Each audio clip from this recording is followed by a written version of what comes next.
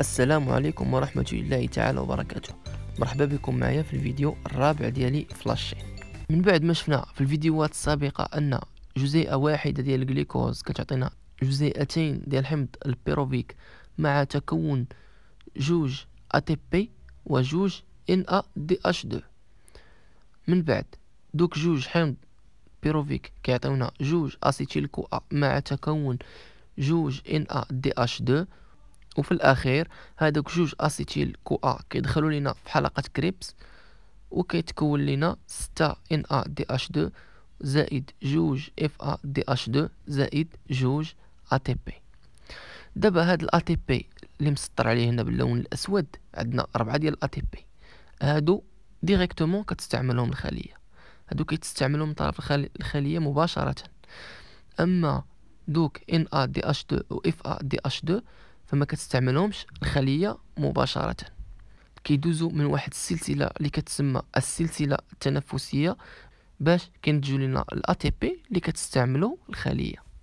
دابا قبل ما نبداو أجيو نكبروا ال mitochondrie ونشوفوا البلاصة اللي كيوقع فيها الأكسدة ديال ان ا دي اش 2 والاف ا دي اش 2 كيف ما سبق لينا قلنا أن ال mitochondrie كيتكون من غشاء خارجي وغشاء داخلي. وهذاك الجزء اللي ما بين الغشاءين كيتسمى الحيز البي غشائي والغشاء الداخلي يحيط بواحد المادة اللي كتسمى ال matrice. هذا الشيء كامل شفناه في الفيديو السابق.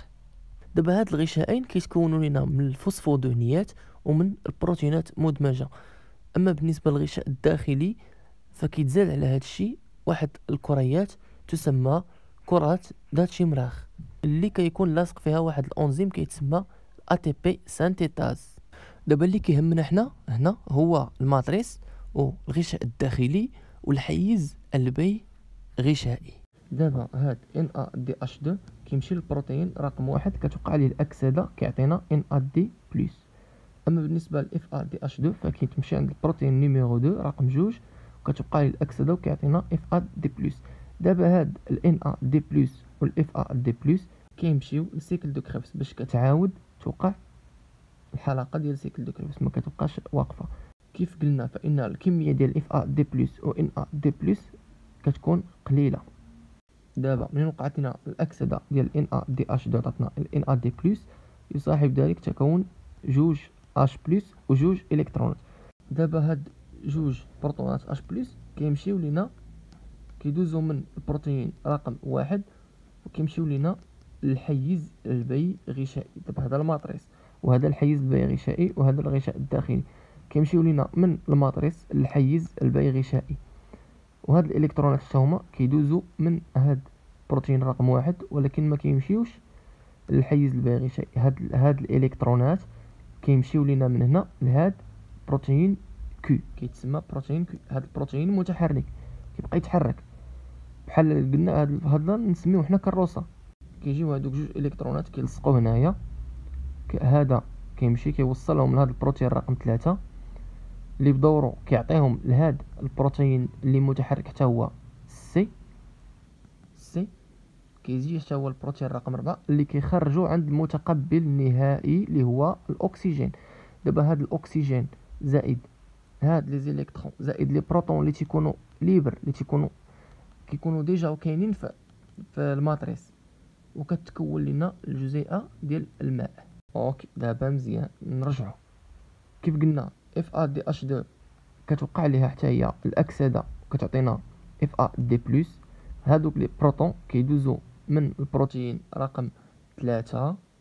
وبالنسبة للإلكترونات اللي كيتنتجو كيمشيو direct عند هاد Q هاد البروتين Q اللي كتديه البروتين رقم ثلاثة اللي كيعطيه لهاد البروتين الصغيور C اللي كي اللي كيوصلوا البروتين رقم ربعة واللي كيجيبوه في الأخير عند المتقبل النهائي اللي هو O deux باش كتكون لنا جزيئة الماء.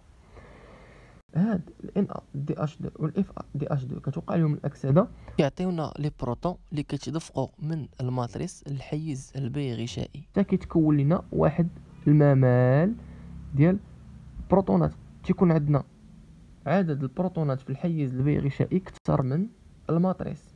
وبذلك كيتكون لنا واحد الممال. هاد الممال هو العامل الرئيسي باش كتخدم لنا هاد الكرة ذات شمراخ دابا هاد الكرة ذات الشمراخ ملي كتخدم كتولي كتولي active. كتولي هي كت... كت... هي اللي كتصنع لنا هي اللي كتصنع لنا ال ATP كيدوزو ثلاثة ديال البروتونات من الحيز البي غشائي كتحاول تردهم ال matrice باش تحاول دير لنا توازن ما بين ال matrice والحيز البي غشائي هاد التدفق كتنتج عليه واحد الطاقه اللي هي ال énergie. هاد الطاقة كتزاد على ال ADP زائد ال Pi زائد هاد الطاقة وهاد العملية كنسميوها الفسفره اللي كتعطينا ال ATP دابا هنا في الوثيقة غادي يبان لكم هذاك الشيء مزيان. دابا ال FADH2 كتمشي لينا عند البروتين اللي في هاد الوثيقة مسمينو T1 اللي هو البروتين الأول. كتوقع ليه الأكسدة وكيعطينا ال FAD plus. هادوك les protons و les électrons كيتدفقوا par البروتين T1 بالنسبة les protons تيخرجوا للحيز البي غشائي أما بالنسبة للإلكترون. فكيمشيو لهداك البروتين الصغيور اللي هنا في هذه الحالة مسمينو T3 اللي قلنا متنقل كيدي هادوك les électrons لهاد T4 ومن T4 كيعطيهم ل T5 ومن T5 تعطيهم ل T6 اللي بدورهم كيعطيهم المتقبل النهائي اللي هو ال O2 باش كيعطينا H2O. OK دابا مزيان متفقين. دابا نرجعو. إف ا دي أش 2 كيف قلنا؟ إف ا دي أش 2 كتمشي عند البروتين رقم جوج كتوقع ليه الأكسدة.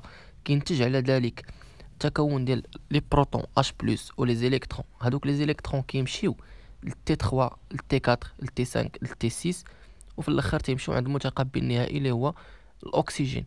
أما بالنسبة للبروتون اللي كيكونوا عندنا في ال matrice انطلاقا من الأكسدة سواء ديال اف ا دي اش 2 ولا ديال ان ا دي اش 2 كيتدفقوا par les protéines سوا T1 سوا T4 سوا T6 تيخرجوا للحيز البي غشائي منين تيخرجوا؟ كيولي عندنا التركيز ديال les protons في الحيز البي غشائي أي تركيز H plus في الحيز البي غشائي أكثر من ال matrice. وهذا كيكون لنا واحد الممال وهذاك الممال كيخدم لنا الكرة ذات شمراخ اللي كتخلي H plus تدفق من الحيز البي غشائي ال matrice. فهذاك التدفق ديال H plus من الحيز البي غشائي ال matrice كيكون لنا واحد الطاقة اللي كتزاد على ال ADP و ال Pi باش كتعطينا ال ATP نتمنى أن هذا الفيديو يكون واضح وباين واللي عنده شي تساؤل ولا شي حاجة يحطوا لنا في لي كومونتير. وكيف العادة؟ ما تنساوش تبارطاجيو الفيديو مع أصحابكم وإلى اللقاء.